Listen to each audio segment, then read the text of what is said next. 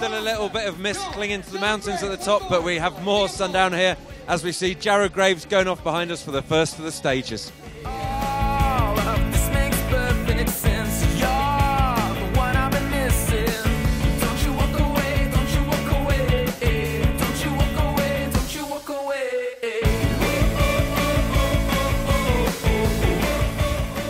Such a hard start to the day. I think just being on top in the cloud, having just such varied terrain, and it's pretty physical all the way. And there's just one little punchy climb which felt confident I was going to be able to stand up and smash, but I grovelled up there like as if it was the last stage of the weekend.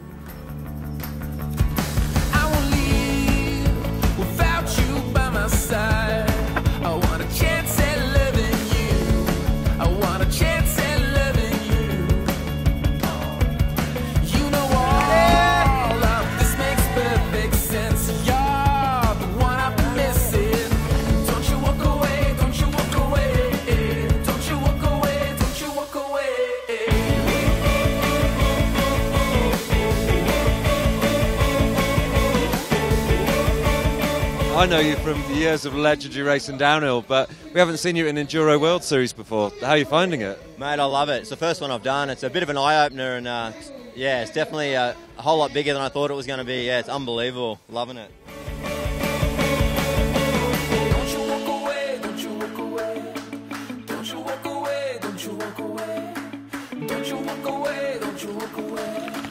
Don't you walk away, don't you walk away.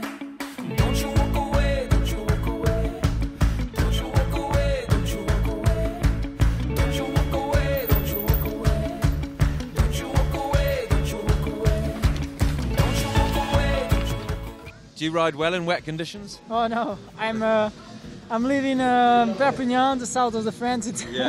very dry. Don't you walk away, don't you walk away. Don't you walk away, don't you walk away. Don't you walk away, don't you walk away. Don't you walk away, don't you walk away.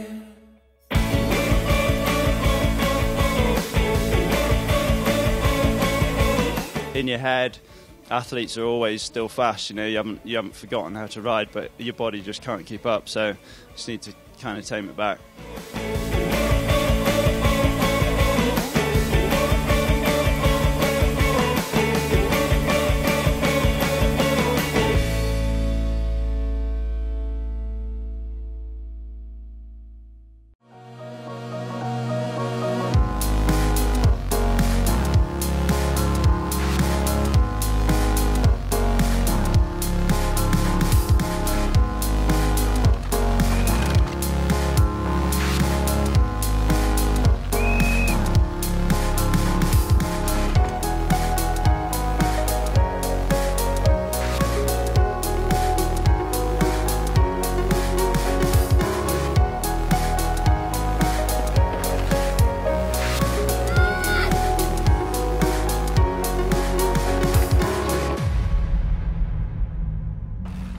Here comes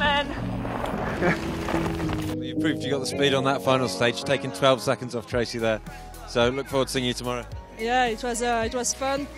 Just a little bit of rain that makes still uh, still more fun to ride. So it's not too muddy. It's just a little slippery. René, at the moment you're eight seconds ahead on the final stage. Incredible run there.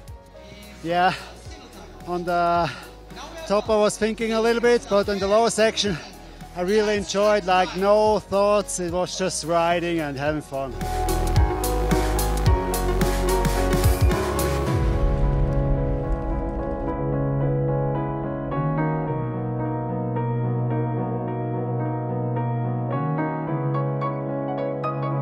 Day one of racing here in La Thuile, and it has been exciting. The women's category thrown wide open. Tracy Moseley taking the win on the first very long stage. Cecile Ravanel, second stage. And then Anne Caroline Chausson coming back after a mechanical to take the win on stage three. And in the men's category, Damien Oton coming out on fire. Stage one and two chalked up for him. But then a crash just before the finish line left the door open for René Wildhaber, who has also been going well the rest of the day, to take the GC overall as we lead into day two.